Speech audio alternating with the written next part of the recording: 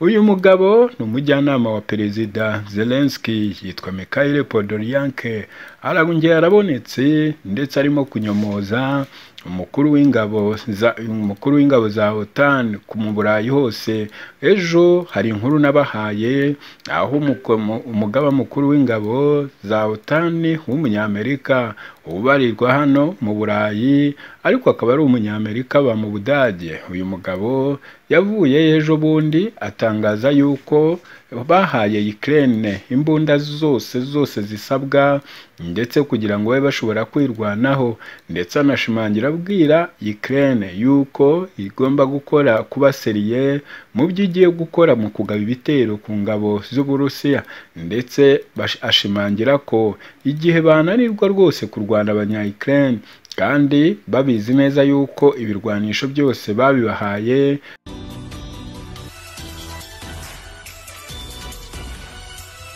Yes, ndagusuhuje nanone nguhaye ikaze kuri Rwanda Paparazzi TV Nevere Frank nk'uko bisanzwe ikaze kuri mwese abo tugiye kuba turi kumwe namwe muri aya makuru ndetse tugakomezanya kugeza tuyasoje. Nizere ko mwese mwamaze kuhagera ndetse mukamwafasha inyakira amajwi zanyu. Aho ni sawa cyane niba mwamaze kuba tayari ngo tujyane fresh sana gerageza ugumaho kuri Paparazzi noneho ubundi tuhatwikane yewe narababwiye nti ntimukajye kure mujye mugumaho ubundi tugendane. Andika purisi magana abiri na mirongo itanu karindwi iminani ibiri makumyabiri na kabiri mirongo itandatu n'umunani mirongo itanu na gatandatu. Gerageza urebe uburyo ushobora kuvugana n'uwo muganga wa gakondo noneho ubundi umwandikire kuri whatsapp ushobora no kumuhamagara noneho mukabasha mukajyana gatanu kuri gatanu mukadiringa ibyanyu ukamubwira n'uburwayi waba urwaye noneho ubundi akagufasha kuba ushobora kugerageza kumva ko ugomba gukira. Ngayo nguko rero we muvugishe jyewe reka nihute ninjire mu makuru. Uyu mugabo ni umujyanama wa perezida Zelensky yitwa Mikhail Podolyak arongera arabonetse ndetse arimo kunyomoza. Umukuru w'ingabo za umukuru w'ingabo za OTAN mu Burayi hose ejo hari inkuru nabahaye aho umugaba mukuru w'ingabo za OTAN w'umunyamerika ubarirwa hano mu Burayi ariko akaba ari umunyamerika aba mu Budage. Uyu mugabo yavuye ejo bundi atangaza yuko bahaye Ukraine imbunda zose zose zisabwa ndetse kugira ngo babe bashobora kwirwanaho. Ndetse anashimangira abwira Ukraine yuko igomba gukora kuba seriye mu byo igiye gukora mu kugaba ibitero ku ngabo z'Uburusiya. Ndetse ashimangira ko igihe bananirwa rwose kurwana abanya Ukraine. Kandi babizi neza yuko ibirwanisho byose babibahaye ngo bazitwaze ibindi ariko ibigendanye n'imbunda ndetse rwose bamaze kuzibaha kandi zihagije. Ndetse yanashimangiye ko uko byaba bimeze kose nta rundi rwitwazo. Rw'uko bavuga ngo baracyakeneye imbunda ngo kandi imbunda zababanye nkeya cyangwa ibirwanisho ahangaha rero ni ho havutse akabazo. Uwitwa Mikhail Podolyak umujyanama wa perezida Zelensky bino byose uyu mugabo yavugaga yabivugaga ari kumwumva ariyo mpamvu yavuyeyo nawe. Agerageza gusobanura neza ibyo yise ngo ni ukugorora uyu mugabo umukuru wa OTAN mu Burayi bwose. Yavuyeyo.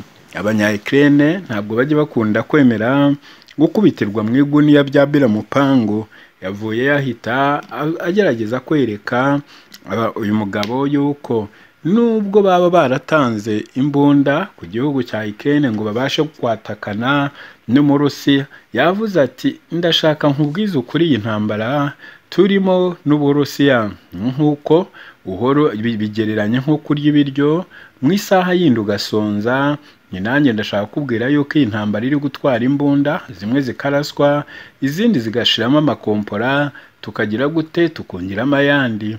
Ati iyo uvuze ko ibyo mwaduhaye bihagije waba wibeshye cyane kuko turacyarimo turarwana n'umugabo ufite imbaraga kandi we mu buri munota aba ari kuzana ibindi birwanisho rero ntutekereze yuko mwaduhaye imbunda ngo zikaba byanze bikunze zihagije. Ibi ni byo Mikhail Podolyak yavuze ati niba uzi ko ujya urya urya kenshi ku munsi cyangwa ukarya buri cyumweru ntumenye inshuro wariye. Ibi bigereranye n'uru rugamba turimo kuko turarwana dusohora amasasu ndetse dufite risiki y'uko haba hariho ibiri kuraswa n'abarusiya. Nabo ibyabo tukabirasa. Ntabwo ushobora kuvuga yuko ibyo watanze bihagije kandi byanze bikunze biri gukora kandi bigomba no kuzaba biri gukora ejo bundi. Ngo rero urumva ko byaba bimeze kose ntabwo ari ibintu washobora kujyaho ngo ahubwo wigambe ngo mwaduhaye ibirwanisho byinshi. Hano arongera aravuga ati kandi n'imbunda mwavuze mwaduhaye magana abiri na mirongo iz'amatankisi ni ukubeshya. Ntabwo mwigeze muziduha uzabaze neza leta zunze ubumwe za amerika noneho nabaze neza bimwe mu bihugu byaduhaye amatanka uzasanga nta n'igihugu na kimwe kigeze kiduha amatanka mirongo inani. Byasanga bayaduhaga makumyabiri cumi n'abiri cumi n'atatu. Wowe ubikore neza karikiratirisi urebe. Waza gusanga nta matanka dufite yavuye mu bazungu ageze kuri magana abiri na mirongo itanu. Ndetse yakomeje avuga ati icyo dushaka kugira ngo tubwire isi ni uko intambara turimo tuyirimo n'igihangange ku isi gifite imbunda ndetse buri gihe kiba kizana izindi kandi kikazana iziruta izacu. Ibi rero two kubitindaho cyane. Niba mubizi ko mwemeye kudufasha kugira ngo twigobotore umurusiya mwo kureba ibingibi ngo muduhaye ibirwanisho byinshi. Ahubwo icyo mwakabaye mureba ni ukureba imbaraga zacu aho zigarukira mwabona dutangiye kurwana imbaraga zitubanye nkeya mukongera mukadufasha. Naho ibyo kuvuga ngo mwarahagaze mwaduhaye ibirwanisho ngo birahagije. Hano ni ukwibeshya. Nidutangira guhaguruka kurwana ibi birwanisho mu cyumweru kimwe bizaba bimaze gucagata rwose kandi urumva icyumweru kimwe twaba tutaraba kugaruza ibi bice twavuze tuzaba turimo kugarura kugira ngo bisubire ku ruhande rwa Ukraine. Ibi rero ni byo cyane cyane Mikhail Podolyak yagerageze gusobanurira abangaba batabyumva neza ndetse aranongera aratsindagira ati n'abandi mwagiye muvuga ko muzadufasha kuduha imbunda nimuzizane. Kuko turabizi neza ko nidutangira kurwana ejo bundi izi mbunda zizaba nkeya cyane.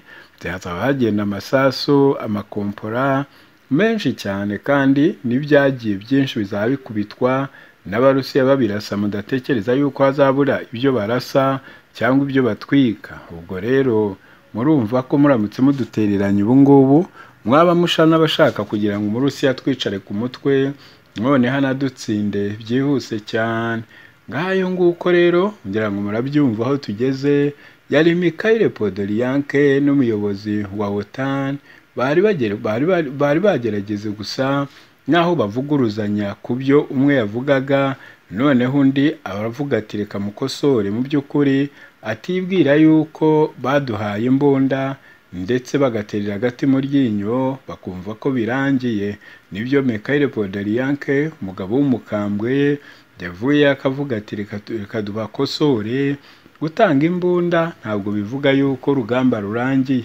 Ikindi cya kabiri nababwiye yuko uko ushobora gutanga imbunda bisaba guhozaho kuko abo uba urwana nabo nabo baba bafite izindi kandi bakomeza bazana izindi zitandukanye cyane n'izo wowe wibwira yuko ari zo kamarampaka mbese ukumva ko hano wakoze diri wayirangije?